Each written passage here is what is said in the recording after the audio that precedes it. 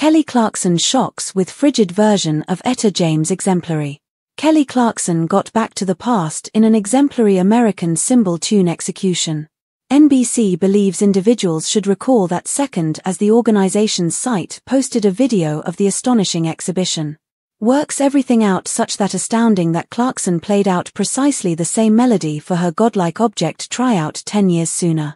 Here is a glance at that astonishing Kelly Clarkson second and how it looks at to whenever she first sang the Etta James exemplary. Kelly Clarkson hits highs with Etta James exemplary. Kelly Clarkson tried out for American Icon in 2002, the show's most memorable season. While the vocalists in that first season weren't all that great, and the creation values were low, Kelly was a feature and proceeded to become one of the best symbol graduated class in history. I end the tryout for American Icon, Kelly sang a Madonna melody and a Glenn Mill operator tune. Be that as it may, she likewise sang an Etta James exemplary called Finally.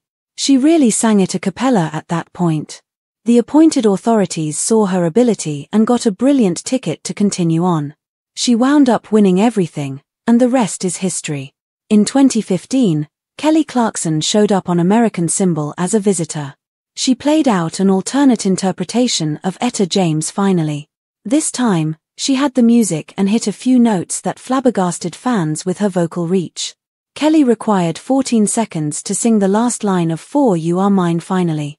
Fans applauded the presentation. And even need to hear her sing it again in Kellyoke on The Kelly Clarkson Show, Kelly Clarkson won't decide on American Icon.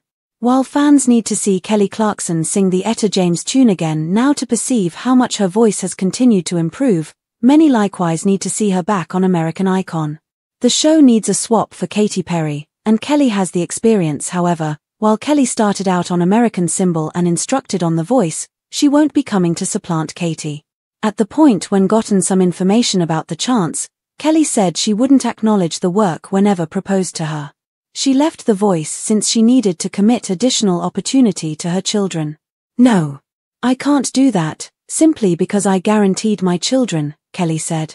I was like, I want to be there however much I can. And it would place me in LA.